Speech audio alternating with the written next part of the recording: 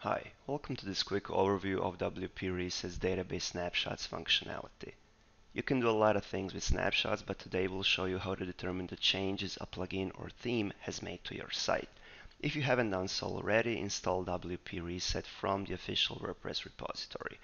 Once that's done, head on to Tools, WP Reset, and onto the Database Snapshots tab the first thing you need to do is to create a new snapshot. Now, what is a snapshot? A snapshot is a copy of your current database state securely saved in your database. We're going to call it clean install. It only takes a second. And now we have our current site state saved in a safe location. It says that we have 12 standard and no custom tables. Excellent. Now that we have the current state saved, we can proceed to do changes on our site. These changes can be anything. You can install a new plugin, activate a new theme, make some changes to the site, change some settings. Doesn't really matter. A change is a change. What we're going to do, we're going to install a popular plugin.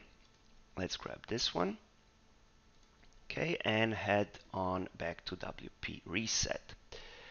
Now we can immediately see from the currently used tables that we now have two custom tables and a few new database rows. So we're asking ourselves, well, which what happened? What changed? Here's what changed. On the left-hand side, we have the current database tables. On the right-hand side, we have the snapshot we created. In our instance, it's the clean install one. So we can see that previously we did not have the links table. Now we can see its properties. And again, it was not present in our snapshot. The same thing with the second database uh, table, I'm sorry. Now we have two tables that changed, the data in them changed, and we also have about 10 tables that did not change in any way, shape, or form. Now, if we head on to WP Options table, we can see by each, each option what actually changed. For instance, the active plugins uh, option previously did not have the WordPress SEO string. Now it has it because the plugin is active.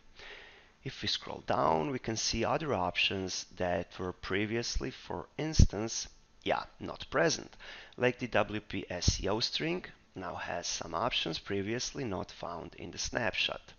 Excellent. So let's assume that you don't want to use this plugin.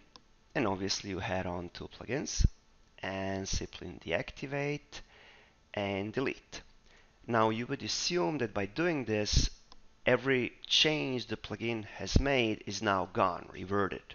Well, that's not the case because you see by our current state that we still have two custom tables and 173 rows compared to 165 we had before. So we are not actually back to our previous state despite removing the plugin. What we need to do to get back to the original state is to restore the snapshot. What this will do is delete the current database tables and replace them with the tables from the snapshot. And now we are back to 12 standard tables and no custom ones totaling 168 rows. If you have any questions or feature ideas, be sure to get in touch. Thank you.